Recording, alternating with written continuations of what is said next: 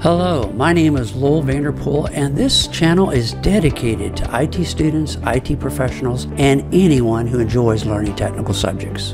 If you haven't been looking at PoE in the last few years, I encourage you to jump on board and let's take a deep dive into PoE. It's a technology that a lot of designers and application engineers are looking at for the first time because it's able to deliver up to 70 watts to a power device. So let's jump on board and take a look at PoE. So what is PoE? Well, it's it describes several standards. It also describes some ad hoc systems, but Basically, it's electrical power along with data on a twisted pair Ethernet cable. So that's what PoE is. But keep in mind, the term PoE can be broad, but it does describe several standards. In terms of electrical power, PoE injects about 54 volts on twisted pair. The first set of standards, the 802.3AF and AT, uses four wires and it can deliver up to about 30 watts. The 802.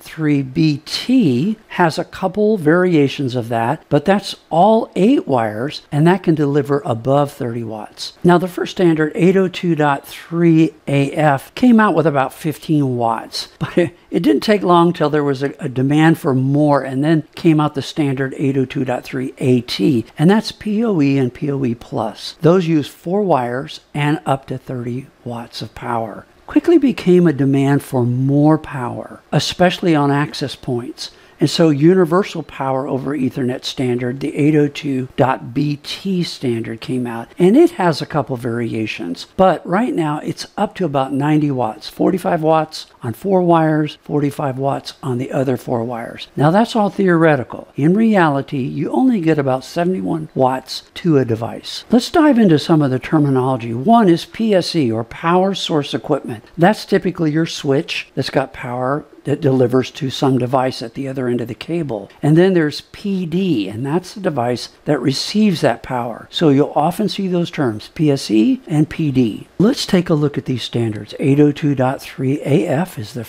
original first standard, between 3.8 and 13 watts. Look at the efficiency, about 84% efficient. Then we'll go to 802.3AT, which was the next demand for more power, 25 watts to 40 watts, about 88% efficient. Now watch as we go to higher power standards. 802.3BT Type 3, 40 to 51 watts. We're going down. 85% efficient. 802.3BT Type 4, 62 to about 72 watts. 79%. So notice at the 40 watt, 30 watt standard, we're getting the most efficient delivery of power. Now, what's happening? We're losing more and more power across the twisted pair cable. As you're moving to higher standards of PoE, delivering more and more power through your twisted pair cable, you're going to have to look at better quality cable, maybe at the minimum Cat 6, Cat 6A, and you're going to have to look at the gauge of wire, 26 gauge at the minimum to deliver higher currents, better efficiency to the power device. As you're buying switches that have PoE, make sure you look at the specifications for that switch before you buy it and then you find it's underpowered. Keep in mind, you do not have to buy a PoE switch for every switch in your enterprise. You're primarily using your PoE switches that are connected to devices that need power. The rest of your switches can be regular, they don't have to have PoE capability